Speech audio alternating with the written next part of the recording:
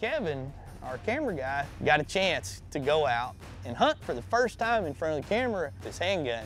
There were a lot of deer out there. Uh, he came walking up. Uh, Jeff, the guy that was uh, my camera guy, which I've never had a camera guy before, Jeff, he said, that's the one we're looking for. And I tell you, it gave me a new appreciation. That deer came walking up, uh, couldn't get a clear shot. Finally, the deer gets to where I can see him just fine, and I have a shot, but guess what? The camera doesn't.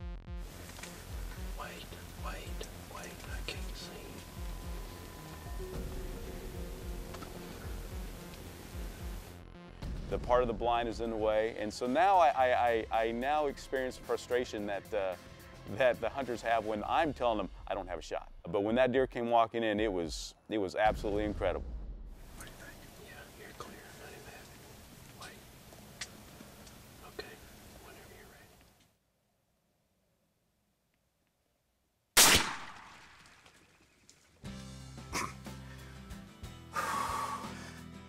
Nerve-wracking is probably an understatement, but, uh, but uh, finally when it came time, I don't remember pulling the trigger.